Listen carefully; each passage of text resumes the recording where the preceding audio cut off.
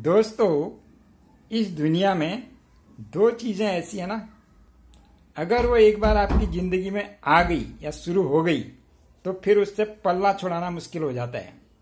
Number एक, आपकी बीवी।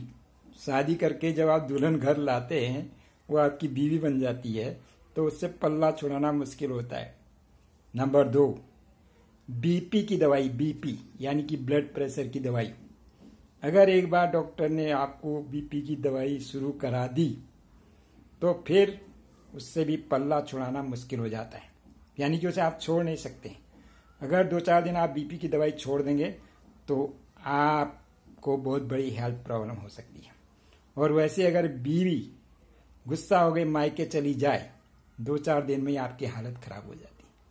तो दोस्तों, ध्यान रहे बीपी की दवाई लेना ना भूलें और बीबी का ख्याल करना ना भूलें। धन्यवाद।